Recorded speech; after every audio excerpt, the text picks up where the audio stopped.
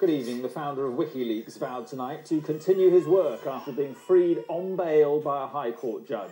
Julian Assange emerged to cheers from his supporters after nine days in solitary confinement in Wandsworth Prison. He's fighting extradition to Sweden, where he's wanted over sex allegations. He denies any wrongdoing and says he's more worried about extradition to America, where the authorities are furious about his controversial whistleblowing website.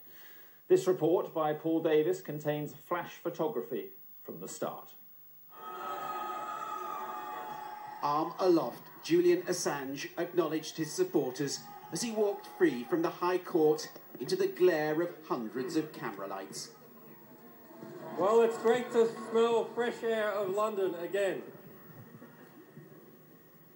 First, some thank yous to all the people around the world who have had faith in me, who have supported my team while I've been away. He had words too for the British justice system. To the British justice system itself, where if justice is not always an outcome, at least it is not dead yet. Once again, the eyes of the world were on this man. But it wasn't WikiLeaks on trial as he arrived at court, photographed here in the back of his prison van. This was a hearing to decide whether he would be freed on bail while the Swedish government sought his extradition to answer alleged sex charges. The lawyer representing the prosecution argued there was a real risk of him absconding. Assange's defence argued to the contrary, and Justice Ouseley agreed with them. As a condition of the bail, Julian Assange will have to live here at the Suffolk mansion of journalist and former Grenadier Guards captain Vaughan Smith, who told me why he trusted Assange.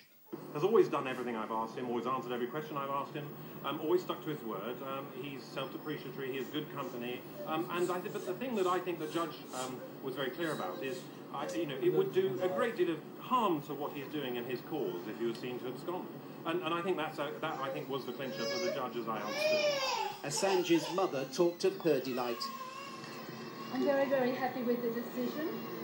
Uh, I can't wait to see my son and to hold him close. Tonight, an armoured Land Rover owned by Vaughan Smith collected Assange from the High Court.